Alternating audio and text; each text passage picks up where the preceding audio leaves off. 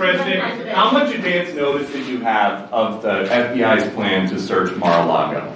I didn't have any advance notice. None. Zero. Not one single bit. Thank you.